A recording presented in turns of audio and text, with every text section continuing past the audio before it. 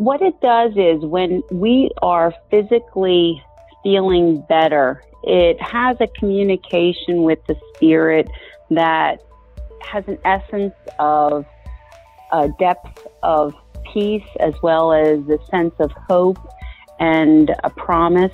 And so they're so valuably interconnected that when we are feeling so downtrodden with regard to our physical body, it just, it, it kind of takes everything down with it. And so when we can support that and people are not having those aches and pains and, and situations, all of a sudden the mind gets a, a stronger balance.